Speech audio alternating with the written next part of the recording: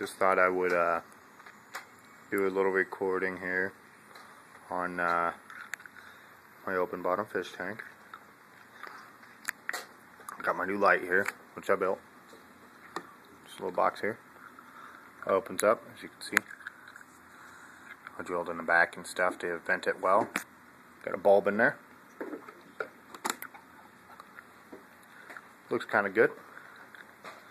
Uh,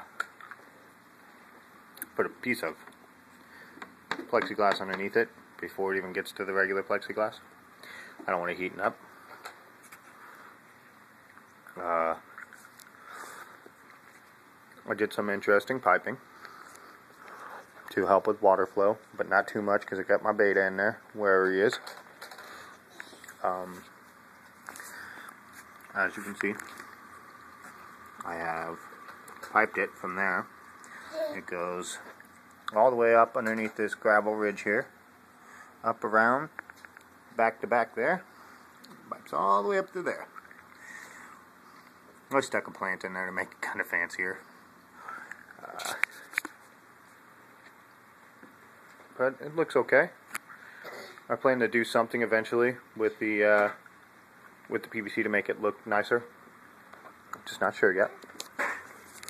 As you can see back here, I got a bubbler to help with oxygenation of water. Got my filter. And there you are. Got my betta. A very happy betta. Most of the time. He's yellow and blue, but can't really see him in the low light very well. Notice you don't see very many yellow ones, so we decided on yellow. Um, I screwed these this gull down because it kept falling. But all in all, I like it. I also got a new stand, as you can see, because it was up, it was down below the baby gate, but now it's up above it. It'll look nicer. I should move it out from back behind here, but I haven't yet. Haven't decided on a place for it in my house. But that's my update.